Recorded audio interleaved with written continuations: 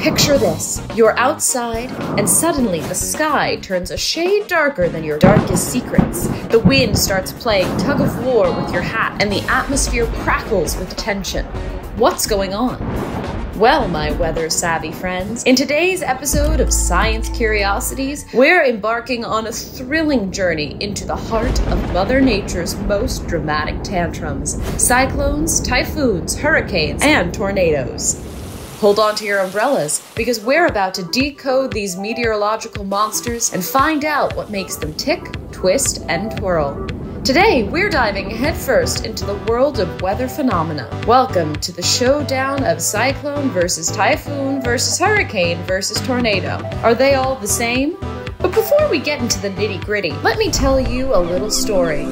Once upon a time, in a quaint coastal town, the residents were throwing a beach party they invited four guests cyclone, typhoon, hurricane, and tornado.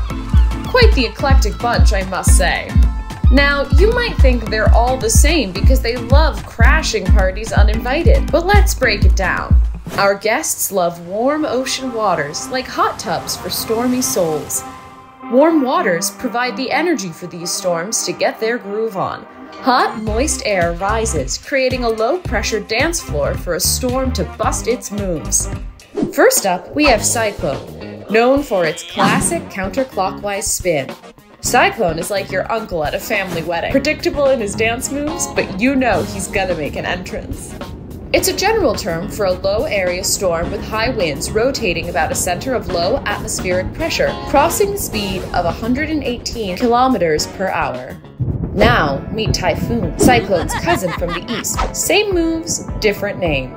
They might argue about who's got the cooler name, but they're cut from the same stormy cloth.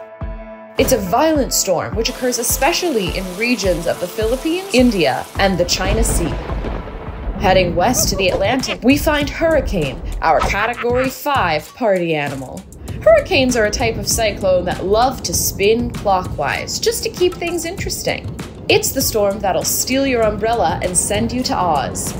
It's an extremely large, powerful, and destructive storm with very strong wind that occurs especially in the western part of the Atlantic Ocean. A hurricane can have a diameter of 500 to 1,000 miles, moving at 80 to 130 miles per hour. Last but not least, tornado. The tornado in the teacup. The tornado is that one friend who starts breakdancing in the middle of a waltz. It's short lived but packs a punch. It's a violent wind which consists of winds that spin very fast, uprooting many trees and causing a lot of damage. The average speed of a tornado is between 64 to 160 kilometers per hour, and its length can be 250 feet across. So, are they all the same? Well, not exactly. They're like four siblings with unique personalities. Cyclone, typhoon, and hurricane are the globetrotters, while tornado is the wild child that stays closer to home. Typhoons and hurricanes are types of cyclones. Their difference is the location. Meanwhile, tornadoes and cyclones differ in shape. Cyclones move in a circle in a wide area, while tornadoes spin in a small area but are taller, funneled shape forms. In conclusion, these four weather wonders bring their own flair to the party, but they're not quite the same. It's like comparing a salsa dancer to a break dancer. Both cool, but you wouldn't want them swapping moves.